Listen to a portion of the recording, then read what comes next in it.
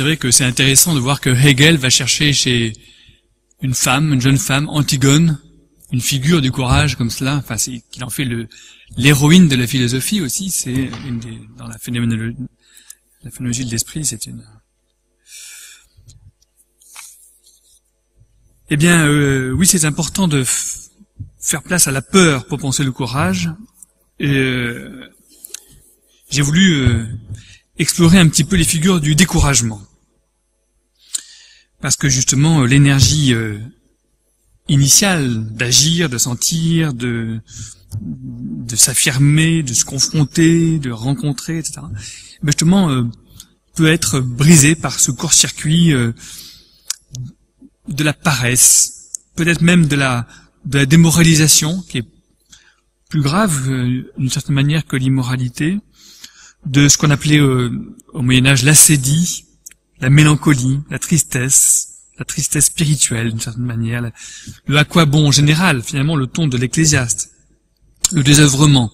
Le désœuvrement qui pourrait être le lieu de la gratitude, eh bien, peut devenir justement le sentiment que tout est superflu, que rien n'a de sens, la nausée de Sartre.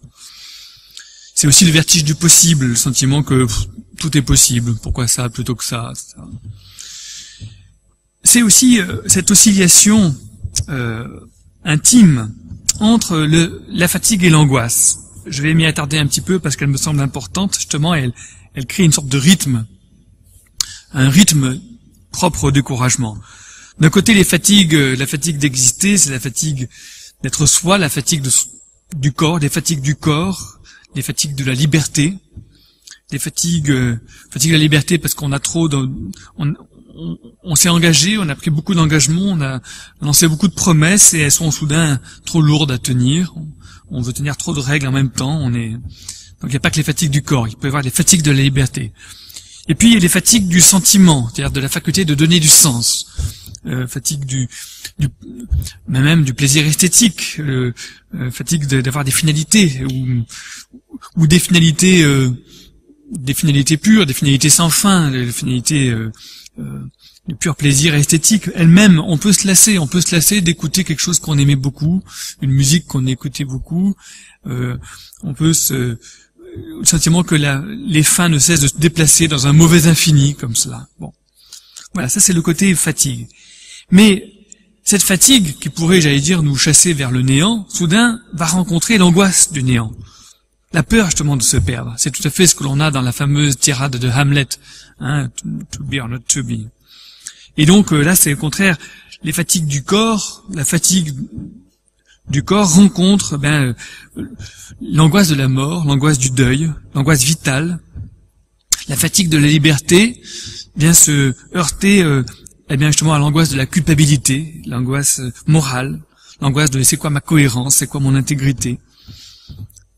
Euh, les fatigues du sens, euh, les fatigues du sentiment, eh bien justement viennent rencontrer l'angoisse de l'absurde. Finalement, c'est tout est l'angoisse du, vide, du sentiment du vide qui nous qui nous ramène vers la vers la vie. Et alors je dirais que voilà, nous sommes pris dans cette oscillation puisque j'essaie de trouver des, des rythmes profonds. Il y a des rythmes du courage, il y a aussi des rythmes profonds du découragement.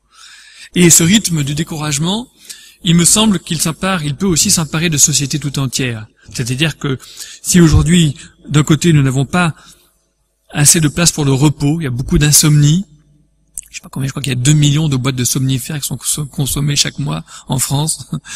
Euh, un chiffre peut-être euh, peut-être fantaisiste, je ne sais pas, j'avais entendu ça. Mais d'autre côté, euh, il n'y a pas non plus d'action, il n'y a pas non plus d'agir, il n'y a pas non plus de, il y a, il y a une sorte d'activisme. Il nous faut des justement des des des, des excitants, des, des choses qui nous qui nous dopent. On est d'une certaine manière dans un, un rythme dans lequel il n'y a ni repos ni agir, parce que justement il y a peut-être une en même temps cette cette, cette dialectique entre la fatigue et, et l'angoisse. Plus loin, peut-être, je dirais, le découragement découvre la capacité que nous avons à faire notre propre malheur, à vouloir le bien et à faire le mal, à vouloir quelque chose de augmenter notre faculté d'agir ou augmenter notre faculté de sentir et puis soudain de diverger complètement, c'est-à-dire euh, de soudain de ne plus sentir ce qu'on fait, de ne plus savoir ce qu'on fait, d'être dépassé par ce qu'on fait, ce qu'on a fait nous échappe complètement. C'était pas du tout ça qu'on voulait. ou bien au contraire, euh, on, sent, on subit, on reçoit des choses euh, qu'on ne voulait pas du tout, face auxquelles on est complètement impuissant, et donc il y a un décalage. Hein. Et euh, face à cette à cet sentiment qu'il y a des choses qu'on ne veut pas, des choses qu'on ne peut pas, des choses qu'on ne sait pas, qu'on fait ce qu'on ne sait pas ce qu'on fait, ça. eh bien la tentation, c'est encore une figure du découragement, c'est la tentation de eh bien de se de s'amputer, de s'insensibiliser, de s'amputer de ses propres sensations, de, s'amputer de ses propres facultés d'agir. Hein, J'irais euh, manière loin du travail de l'esclave dont parlait Eric à l'instant. Justement, on débranche tout, on, laisse, on, s'insensibilise, hein, on ne travaille plus, on ne, n'est plus en prise avec la réalité on, débranche le rapport à la réalité, on s'ampute. Mais en s'insensibilisant soi-même, on s'insensibilise aussi aux autres. On, est, on devient insensible aux autres, on devient insensible à la souffrance des autres. De la même manière, sans doute que, en voulant s'insensibiliser à la souffrance des autres, on devient insensible à ses propres souffrances. C'est-à-dire, il y a une sorte de cercle vicieux là, de l'insensibilisation. Et l'insensibilisation au, malheur, c'est aussi l'insensibilisation aux joies. C'est-à-dire l'incapacité à percevoir une peine, c'est aussi l'incapacité à percevoir un bonheur. Donc il y a une sorte d'insensibilité. Il me semble qu'une des grandes figures de découragement, c'est cette figure de l'insensibilisation générale. L'insensibilisation, euh, euh, on va dire, euh, à plusieurs. Nous sommes et alors, euh, euh, la, tentation face à ça, je disais tout à l'heure, enfin je, viens de dire, c'est de s'insensibiliser, c'est donc peu à peu de se retirer, de se, de, s'enfoncer, de, de, se retirer dans une sorte de, de, solitude. J'allais dire presque complètement euh, sceptique, solipsiste, c'est-à-dire que complètement enfermée en elle-même. Euh, mais cette solitude, d'une certaine manière, n'est pas une solution, dans la mesure où on sait très bien de l'enfance la petite enfance jusqu'à jusqu'au vieil âge, qu'on ne peut pas entièrement prendre soin de soi tout seul. On a besoin du, du soin des autres. Hein. Qu'il est impossible d'avoir la moindre joie ou le moindre chagrin sans avoir besoin ou envie de le partager de le communiquer. Bref, qu'il n'est pas bon d'être seul. Et en même temps, la difficulté, et c'est ça le, je dirais le, qui fait la fragilité affective, qui est peut-être pour moi au cœur du découragement, c'est la difficulté à partager le malheur, sans faire du mal. On ne peut pas partager le malheur, alors la seule manière de partager le malheur, c'est de faire du mal en plus. Ou bien la difficulté de partager les joies. Et alors là, c'est Anna Arendt qui disait que justement c'est là qu'on voit les vrais amis. Les vrais amis sont ceux qui sont capables de partager nos joies. C'est encore plus difficile, dit-elle, encore plus rare que de partager les, malheurs et les, chagrins. Euh, je voudrais euh, ajouter un tout petit euh, épilogue à cette petite méditation, cette petite rhapsodie sur quelques figures du découragement, un épilogue autour de la figure de la méduse. Parce qu'on va parler de méduse, on va manger de méduse, je voudrais expliquer un petit peu pourquoi. il me semble que justement le propre du courage, c'est de s'attaquer au problème, c'est de non pas de dire de trouver une solution, qui permettent d'échapper au problème, mais de s'installer, euh, de s'installer avec le problème, de s'installer paisiblement, tranquillement, durablement avec le problème. J'avais fait dans Libération il y a euh, à peu près un an un petit papier sur les poux, comme ça, en disant que je faisais l'éloge des poux. Il ne faut pas vouloir des solutions radicales.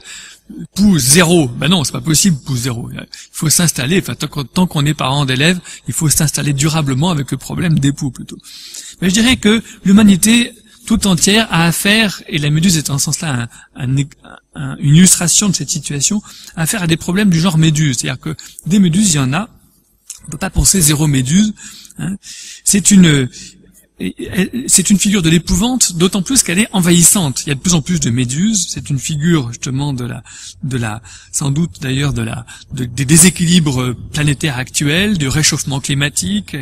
Il y a à la fois un épuisement des ressources et les méduses contribuent à manger euh, tous les poissons. Et, euh, en même temps, euh, une rupture des équilibres, des pollutions, des réchauffements. et c'est une figure d'ailleurs en plus même plus grave peut-être de l'invasion de la et donc des, invasions barbares de les méduses qui envahissent nos plages et il y en a partout des méduses enfin bon c'est c'est l'inhumain c'est l'étranger c'est le barbare c'est l'horreur la méduse c'est l'horreur Hein, c'est l'inhumain, bien sûr. Et c'est très intéressant de voir comment les Grecs ont pris cette figure de la méduse, cette figure de la gorgone, pour en faire justement la figure de l'inhumanité par excellence. C'est-à-dire quelque chose qui est, qui est mais qui est transparent. On sait pas si c'est ou si ça n'est pas, si c'est un végétal, un animal ou quoi. En même temps, ça n'a pas de visage, en même temps ce n'est qu'un visage, ce n'est qu'un masque. La gorgone n'est qu'un masque. Hein, bon, un visage sans corps, qui pousse un cri d'ailleurs, un cri qui se rapproche, euh, d'après Jean-Pierre Vernant, qui se rapproche de la flûte, mais une flûte inaudible, une flûte dont le son nous tuerait avant même qu'on l'entende. Hein, c'est une figure très très curieuse hein, de la flûte. La flûte dans la mythologie grecque a à voir avec justement le, rapport à la possession et à, mais aussi d'ailleurs euh, à, la mort, euh, à, l'au-delà, on va dire. Euh, c'est en même temps un, corps, une bouche qui n'a pas de, une bouche sans anus, parce que la, euh, la méduse elle mange mais elle vomit, elle n'a pas, elle ne recrache pas, enfin, elle recrache par la bouche. Hein, bon, euh, d'ailleurs dans la mythologie grecque, euh, c'est une bouche sexe. C'est vraiment l'horreur par excellence. On ne sait plus où est le dedans et le dehors. Si vous voulez, le dedans, il n'y a pas de dedans et de dehors. Le dedans, et il, il, peut se mettre dehors. Bon, bref, vous voyez, pourquoi c'est des figures d'inhumains. Eh bien, tout cela, messieurs, dames, tout cela, nous pouvons le cuisiner. nous pouvons le mettre à la poêle, nous pouvons, enfin, c'est une recette plus complexe, il faudrait appeler Soyun, euh, qui est ici, qui est derrière la caméra, qui est donc euh, la femme du pasteur Marc Pernaud, qui nous a fait la première leçon, et qui est la grande cuisinière des méduses. Elle nous vient de Corée. Donc en Corée, il y a beaucoup de recettes de méduses, mais peu à peu, maintenant je me suis intéressé à ça. Il y en a aussi en, Grèce, il y en a aussi au Nicaragua, il y en a aussi en Chine, il y en a aussi, enfin, il y en a dans beaucoup de pays du monde. Ça existe, ces recettes. Je voulais même venir euh, pour ce soir avec un petit livre de recettes et même un certain nombre d'adresses de restaurants où on peut manger des méduses. Il y en a beaucoup. Mais enfin voilà, vous allez pouvoir en manger. Et donc mon propos, si vous voulez, c'est de dire un petit peu comme disent les, joyeuses épouses de, de Windsor euh, de, Shakespeare, ce qu'on ne peut pas éviter, il faut l'embrasser. Si je veux dire. Il faut, il faut l'attaquer. Hein. il faut s'attaquer au problème euh, euh, résolument. L'autre figure que nous avons en, toile de fond et que nous devons à, Isabelle Baruel, merci à elle pour toutes ces traces et empreintes, c'est la figure des feuilles de ginkgo dont on voit des, traces, mais là bien sûr l'image est disparue, il faudra que je me remette derrière l'écran. Le ginkgo biloba, vous savez que c'est un arbre qui a plus de 270 millions d'années et que déjà il existait 40 millions d'années avant les dinosaures et dont on dit qu'il a survécu, qu'il peut survivre à des catastrophes nucléaires, puisqu'il y en avait un qui était à un kilomètre du centre de la d'Hiroshima et qui a survécu. Bon, c'est peut-être un hasard. Et euh, oui, je vais retenir de, cette, de ces figures successives qu'on verra apparaître euh, d'Isabelle Baruol, euh, ces, ces, traces, ces empreintes de végétaux, hein, ces entrelacs, quelque chose qui nous raconte des histoires, un petit peu comme euh, dans, à travers cette nuit d'éthique, nous allons euh, raconter des histoires, mais des histoires, j'allais dire, euh, qui sont des histoires qui ne cherchent pas à comparer, qui ne cherchent pas à identifier, qui ne cherchent pas à fixer, des histoires en quelque sorte sans identité, ou des histoires d'identité flottante, des identités à la fois trop singulières pour ne pas être anonymes, pour ne pas être des, des, des histoires que chacun peut se raconter. Des histoires qui simplement nous, nous laisse, j'ai dirais, en contemplation devant le monde et euh, refont de nous des surfaces capables d'être impressionnées, d'être impressionnés les uns par les autres, d'être impressionnés par les moindres lumières dans ce monde. Voilà, merci.